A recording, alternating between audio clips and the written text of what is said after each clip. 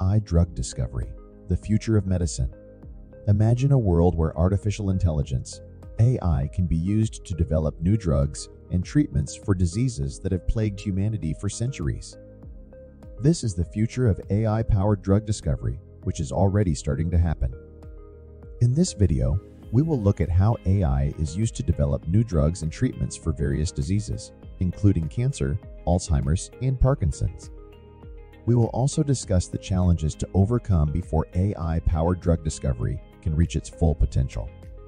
AI-powered drug discovery is a rapidly developing field with the potential to revolutionize how new drugs are developed.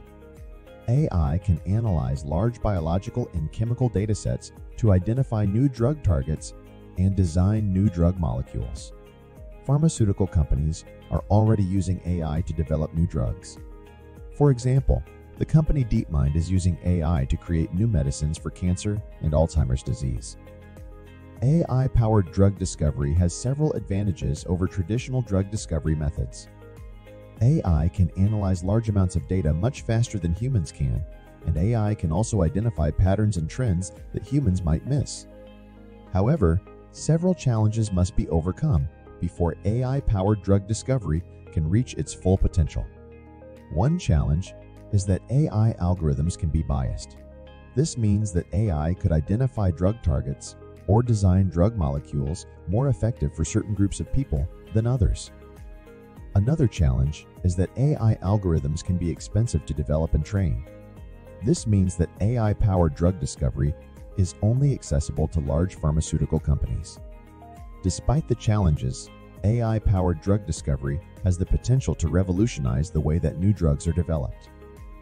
AI could help us to develop new drugs for diseases that have no cure and AI could also allow us to develop drugs that are more effective and less toxic than existing drugs.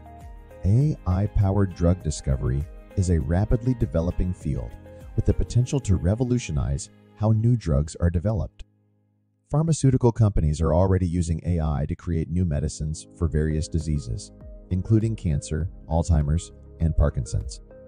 While there are still challenges to be overcome, AI-powered drug discovery has the potential to make a real difference in the lives of millions of people.